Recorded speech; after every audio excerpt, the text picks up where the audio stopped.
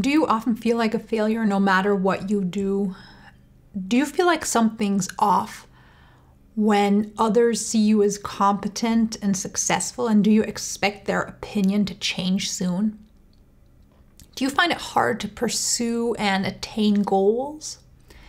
If you said yes to any of these questions, you may be psychologically stuck in a sense of failure or having failed, and maybe subconsciously recreating failure and a feeling or sense of having failed. Stay tuned to understand how and why this happens and how to step out of it. Hey everyone, welcome to Becoming an Expert at Self Leadership. I'm Maika, I'm a psychologist, and today I want to discuss another one of those feelings and mindsets that we can get emotionally and psychologically addicted to, that we can get stuck in, and then subconsciously do things to recreate that experience over and over.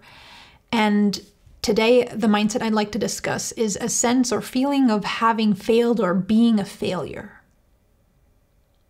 Where does this come from? When animals are born, they have different levels of maturity at birth. Baby turtles are immediately on their own and are ready to go. Baby giraffes can immediately stand and walk. Other animals, though, are much less developed at birth and keep growing and developing for many years after birth. We humans belong to the latter group and especially our brains keep growing and developing neural connections that are pretty fundamental for life for many years after birth, and especially during those years. This means we're specifically vulnerable after birth and during childhood, and the experiences we make during those years get etched into our brains pretty deeply. This is how patterns that we recreate, something I like to call emotional and or psychological addiction, form. We absorb the emotional atmosphere of our childhood and then expect the rest of our lives to be that way. We continue to act in alignment with the emotional atmosphere of our childhood even when it keeps us stuck. So, if you're stuck in a sense of being a failure or having failed, that's the remnants of the neural imprints your childhood left in your brain.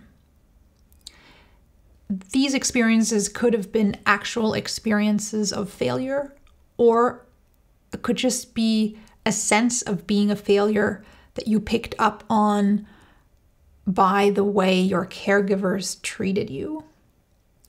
Ask yourself when you first started feeling like a failure, what those experiences were. Go back, reflect on your past, your childhood, and try to find moments where this all started.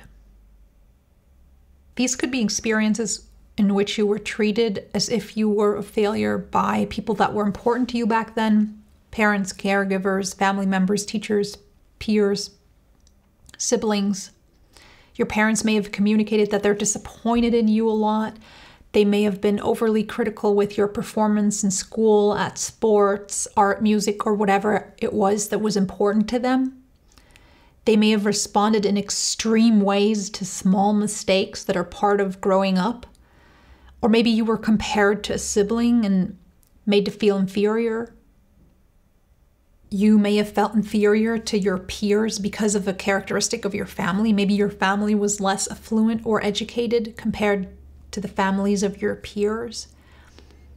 It could also be that you struggled with an issue that made it hard to perform and led to actual experiences of failure, like a learning disability, ADHD, or a background of immigration that made it hard to understand and perform in a new culture.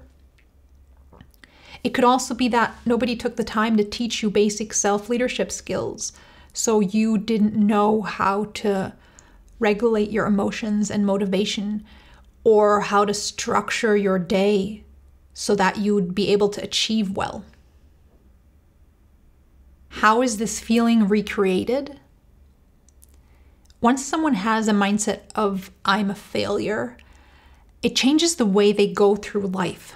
So much so that they will subconsciously keep recreating failure, which then reinforces their core beliefs around failing, failure, achievement, and their sense of I'm a failure, which they started out from. Here are some ways you may be keeping yourself stuck in failure and maybe recreating failure in your life. You may be discounting your positive qualities and natural strengths and hyper focus on your flaws and weaknesses. You may think in all or nothing terms about achievement. Either I'm the best or I might as well not try at all. You may generalize from one mistake to other areas of achievement, like thinking, if I'm not super good at language, I'm incapable in all other areas of performance as well.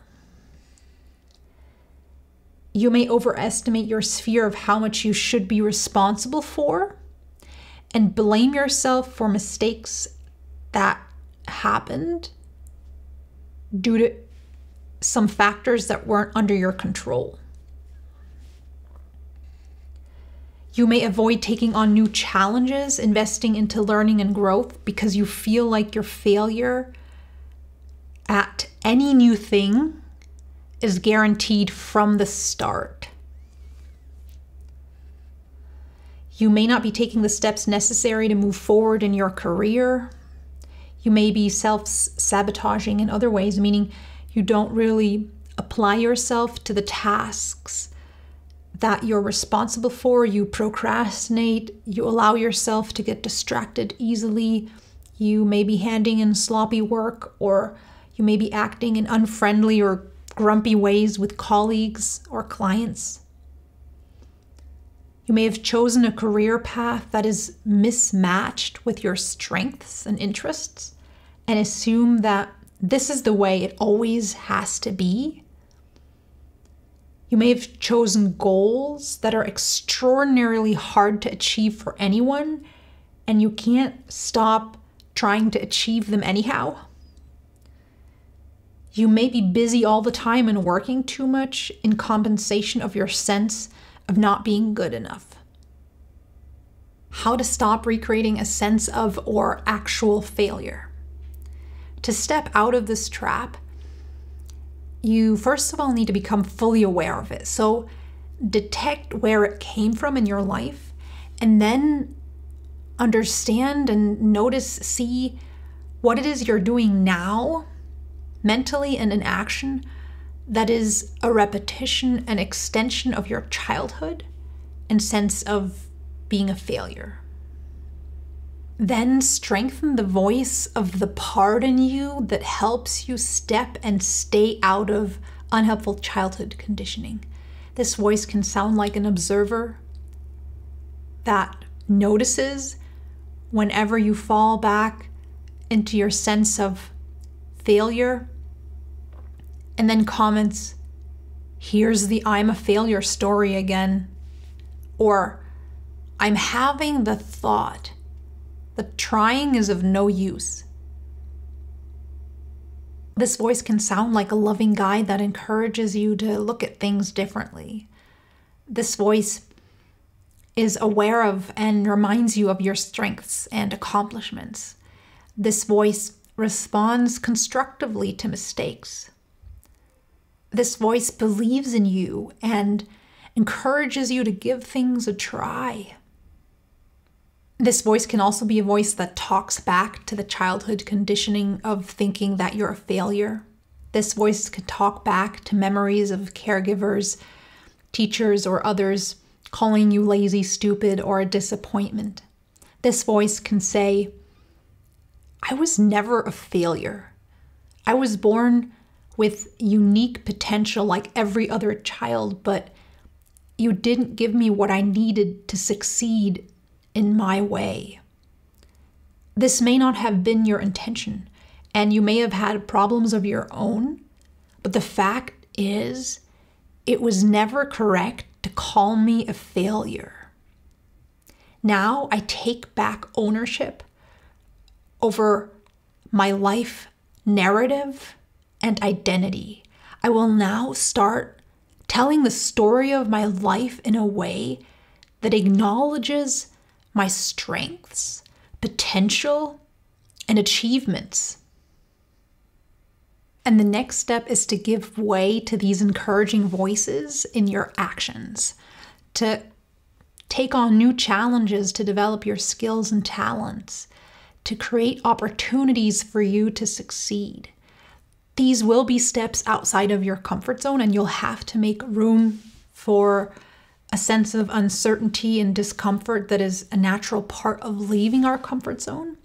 At the same time, you'll see how rewarding it is to get out of the fearful part of your mind and step into actual life. I wish you all the best for this. I believe in you. You've got this. You're worth it. You're wonderful. And you have so many wonderful things ahead of you that you can experience and contribute once you dare to. If you'd like to hear more from me, you can sign up for my weekly email newsletter. Till next time, take care. And remember to reclaim the right to decide what the story of your life was, is, and will be.